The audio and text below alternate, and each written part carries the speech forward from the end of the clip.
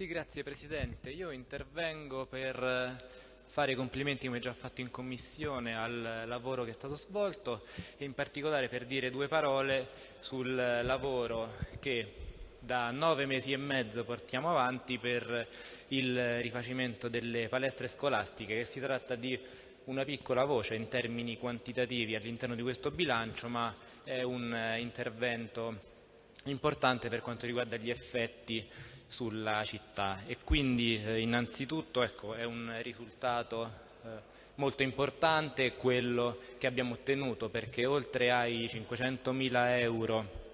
previsti nel bilancio che abbiamo già approvato a fine anno, in questa variazione vengono messe a disposizione ulteriori risorse e, ed è davvero un risultato storico per il Comune riuscire a, a riportare attenzione finalmente a un tema che era stato dimenticato da, da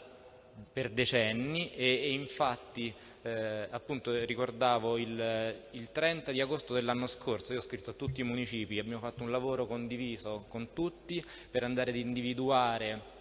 tutte le palestre con problemi di agibilità che senza questo intervento da settembre sarebbero rimaste chiuse perché inagibili e quindi grazie per aver trovato queste risorse perché sono importanti e, ed è il eh, ringrazio anche, approfitto per ringraziare una piccola collaboratrice della Commissione che ha, fatto, cioè, ha colorato con questo disegno la differenza tra uguaglianza ed equità. Noi fino all'anno scorso abbiamo applicato il tema dell'uguaglianza, ovvero abbiamo eh, dato la possibilità di eh, ristrutturare una palestra per ogni municipio. Proprio grazie a questa ricognizione effettuata per la prima volta siamo andati a eh, avere i dati che ci hanno fatto capire che in realtà i municipi sono tutti diversi, alcuni hanno più bisogno degli altri e quindi abbiamo applicato il principio dell'equità e non dell'uguaglianza, quindi vogliamo portare tutti ad avere le stesse condizioni perché partiamo ai noi da situazioni totalmente differenti l'una dall'altra. Quindi eh, mi, mi, fa piacere eh, evidenziare questo risultato al quale tengo e di cui sono eh,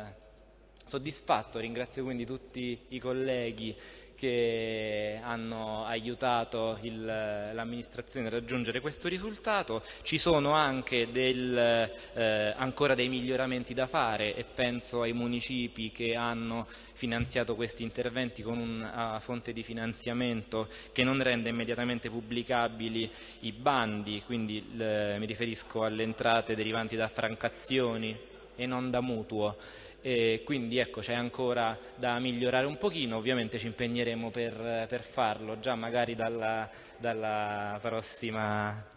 variazione. E concludo qui il mio intervento, grazie.